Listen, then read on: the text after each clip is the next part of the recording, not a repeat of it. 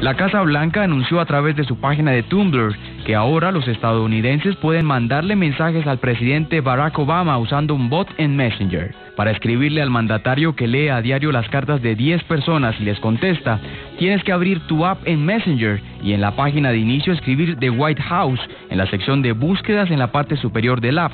Si inicias la conversación con un simple hola, el bot automáticamente te responderá con un mensaje que te prepara para escribir tu pregunta.